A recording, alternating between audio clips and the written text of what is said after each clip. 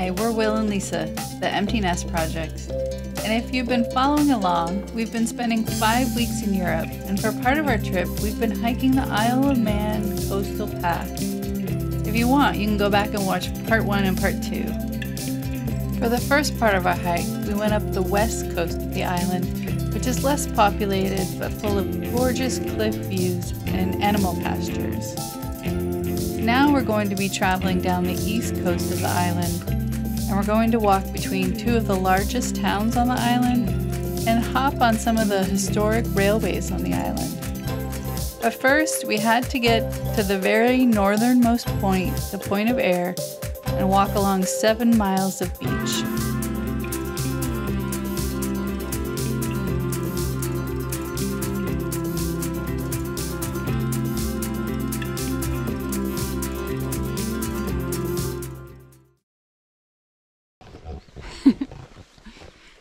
Morning, day four. Good morning. Today we were walking through a nature reserve, preserve, reserve, something, and we're headed towards the north point of the island where there's a lighthouse. And it's supposedly this point is 18 miles from Scotland. It's supposed to be like the closest point of the island to land, to other land. And it's a beach walking day, I think. Yep. Right On now the- we're on the reserve, but we're gonna go to the beach. What are you gonna say? I was gonna say we were just dropped off by our bed and breakfast host, who was uh, very accommodating. Had a wonderful breakfast this morning, and the place was uh, very nice.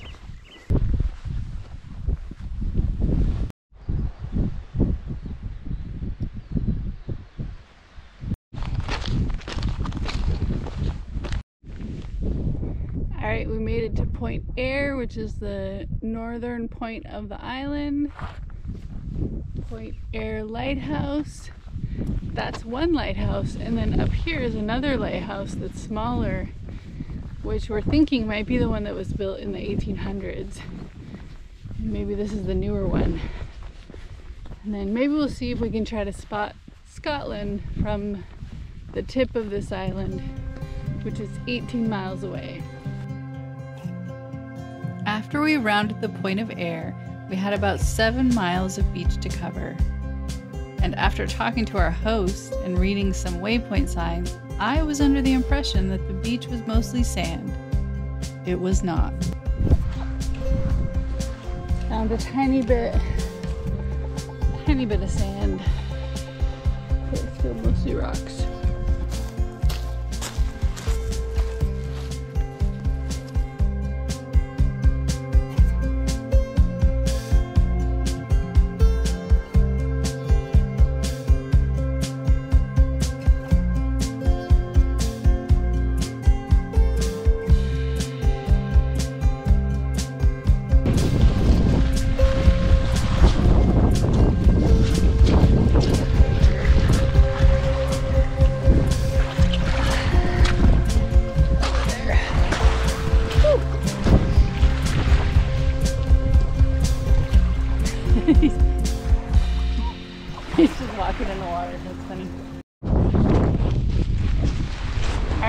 Say it for the last time.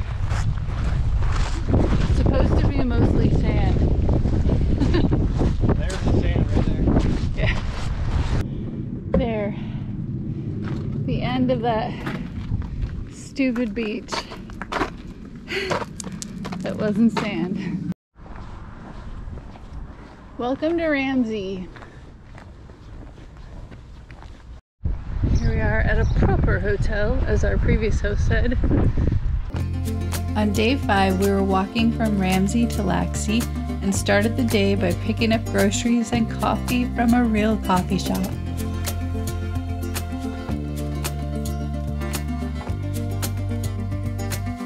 From there, we began the first six miles along the coast, enjoying the views and more sheep.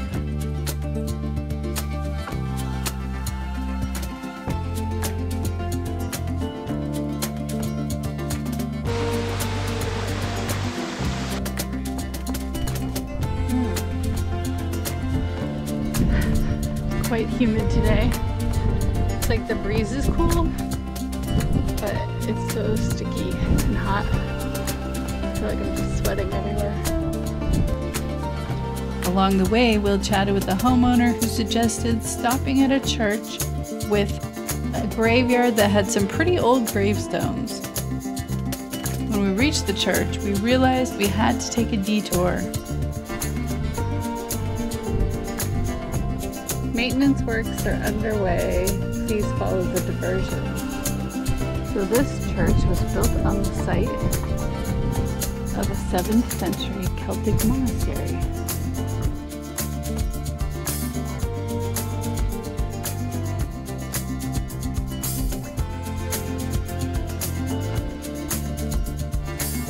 After exploring the church graveyard, we decided to make our detour a ride on the historic electric tramway, the world's longest running electric tram in its original stop.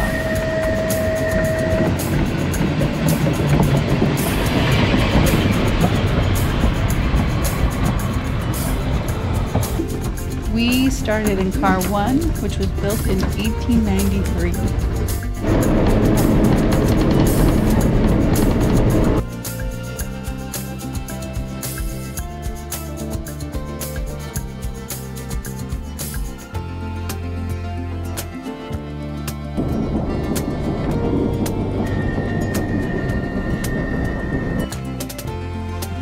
Even though our walk ended in Laxey, our lodging for the night was in Douglas, so we continued on the tram to Douglas, switching cars for a different view.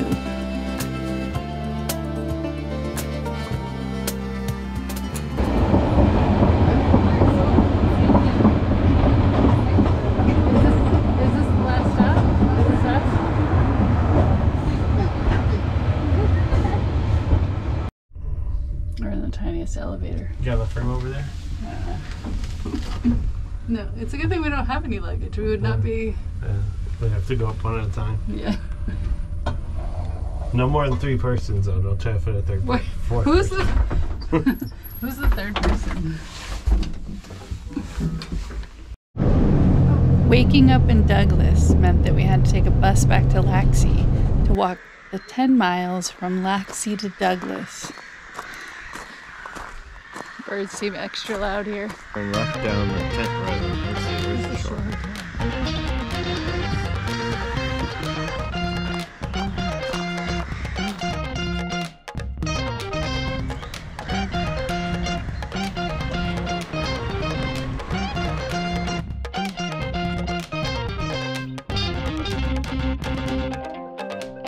All right, uphill.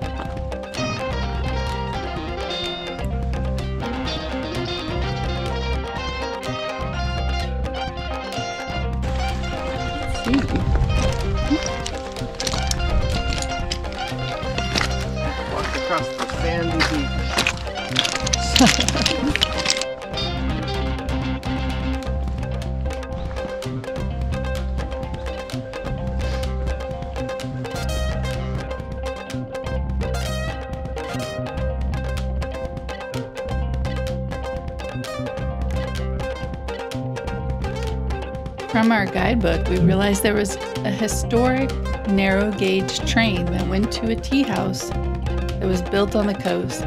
It was built and run entirely by volunteers. And it was just a short distance from the path, so we took a small detour to visit.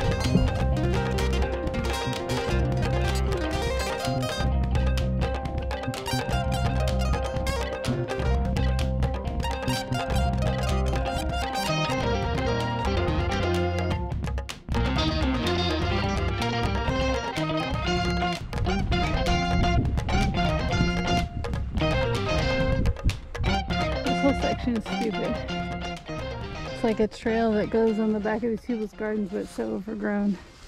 You can barely walk. And there was like a whole hedge of like thorny plants a big chunk of the way. It's like you just feel like you're gonna fall over. The slowest mode of transportation.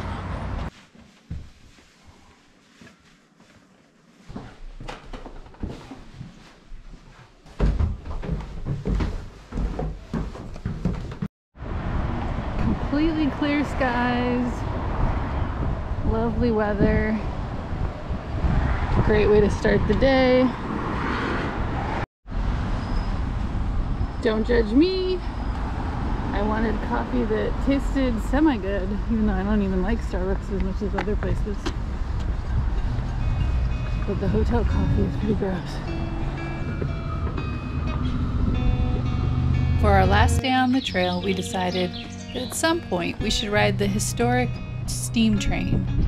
We'd already been on the electric tram, seen the horse tram, and the narrow gauge train, so we left Douglas and walked along the path, planning to hop on the train at some point on the way to Castletown.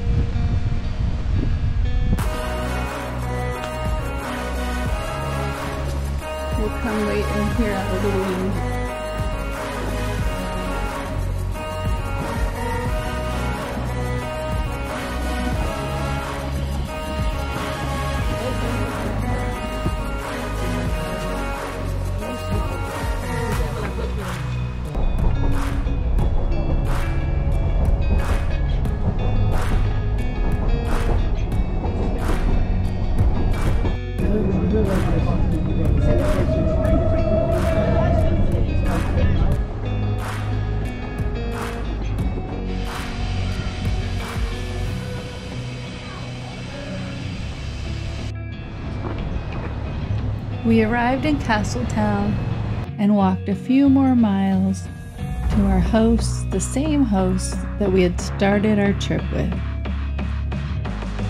Duh.